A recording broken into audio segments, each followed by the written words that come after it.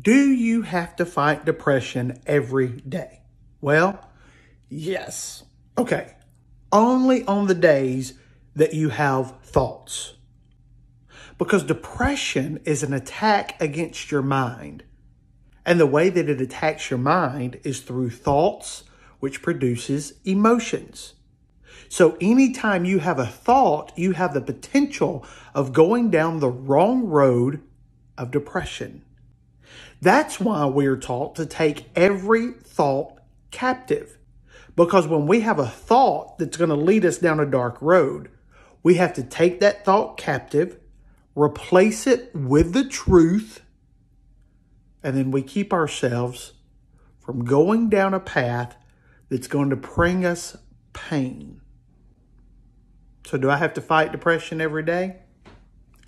Only the days that I think